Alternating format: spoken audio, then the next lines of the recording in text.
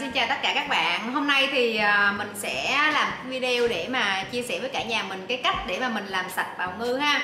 Thì hôm nay mình sẽ trải nghiệm với cả nhà mình cái món đó chính là bào ngư út viền xanh nha mọi người. Thì ờ, bào ngư sau khi mà mình lấy từ ngăn đông tủ lạnh ra thì bắt đầu mình sẽ cho rã đông ha. Thì mình sẽ ờ, theo cái tiến trình rã đông là cả nhà đi theo mình luôn ha.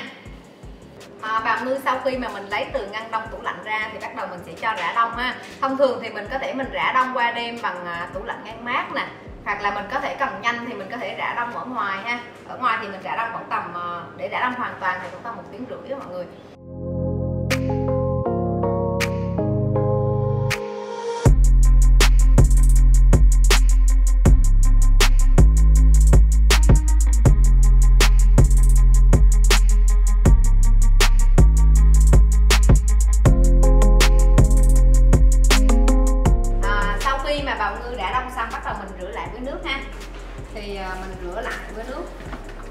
Thì trên bào mua nó sẽ có cái phần nhớt này đó.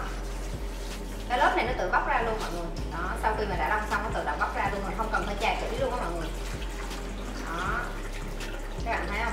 Khi mà nó bóc ra như thế này, nhìn trắng tinh luôn ha. Mình cũng không cần phải chà kỹ gì hết ha. Đó, chỉ cần bóc ra cái lớp ở ngoài này là được rồi. Phần đây nữa nha con đây là tại vì nó chưa có đã đông hết á, cho nên nó chưa bóc ra nhiều. Còn cái con như đây là đã đã đông hoàn toàn rồi, cho nên là nhìn trắng tinh luôn cả nhà. Đó, cả nhà xem.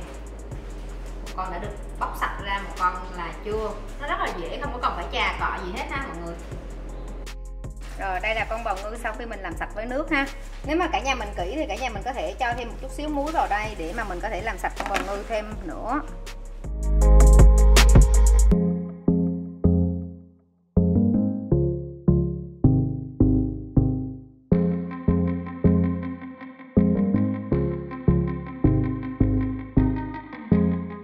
Nay mình sẽ chế biến món hấp và món sashimi ha.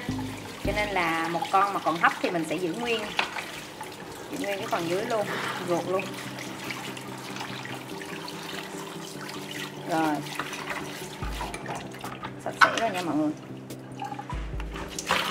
Trắng tinh luôn, rất là đẹp luôn. Đó, mình rửa lại sạch một phần lần nữa với nước. Đó rồi mình để ráo ha sau đó thì bắt đầu mình sẽ um, lấy uh, cậy cái phần vỏ ra nha mọi người.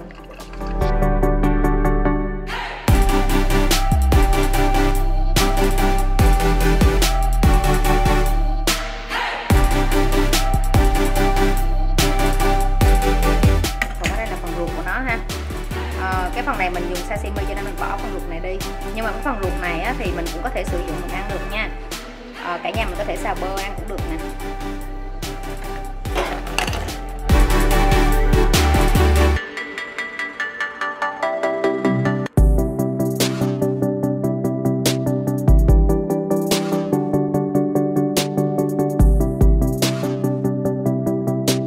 Ờ, còn lại thì ờ, hai con bào ngư bên đây thì mình sẽ hấp cho nên mình sẽ giữ nguyên con như thế này luôn.